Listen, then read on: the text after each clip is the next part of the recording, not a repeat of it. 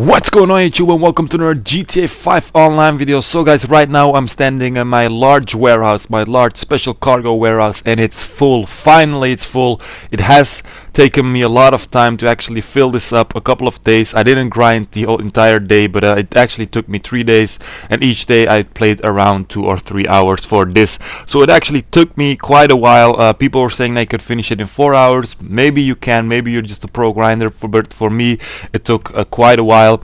Uh, so we're selling the 111 crates. As you can see it's fully stocked. It actually looks sick. And I was kind of nervous when doing this because I was really scared I was going to screw something up or the NPCs would uh, be too hard or something like that. I was in a empty lobby. I asked two of, two of my friends to help me because when you try to sell it um, the game actually recommends that you do it with uh, at least um, two people I think or um, yeah I don't know. They say you must have uh, two associates or three people in total to do this. So I asked two of my friends to help me just in case. Uh, in my case I got the truck so as I was actually lucky you can also get like a fisher boat or a titan and that might be harder because the NPCs might um, yeah annoy you a lot and they can actually destroy your vehicle. But I got the trucks. The trucks are the most easy uh, delivery method with the special um, cargo and I asked my friends to do the other uh, two trucks because I got three trucks. I could have done this on my own. Um, if you look at the time that I've um, that that it took to actually finish this, I could easily uh, have done it on my own.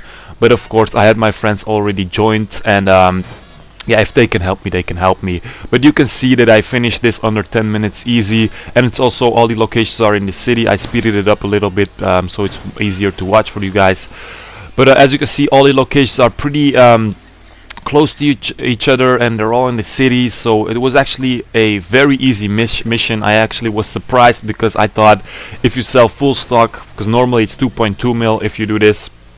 Right now it's 4.4 mil actually 4.44 mil.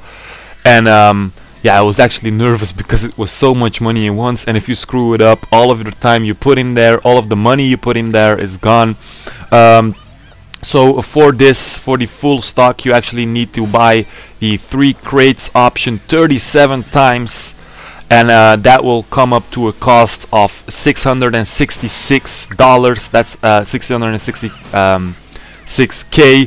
That's actually creepy number creepy uh, number of the devil. So 666 but yeah 666k for all of the um, crates that you have to buy. If you do it with the three crates if you do it with the one crate of course it will be less but that will take you a lot of time. With the um, one crate it would actually cost only 222 if I'm not mistaken but it will take you a lot of time because you have to do 111 different missions. And if you do it with three crates you only have to do 37 it was annoying though. It was boring because um, yeah you're doing the same kind of mission over and over again.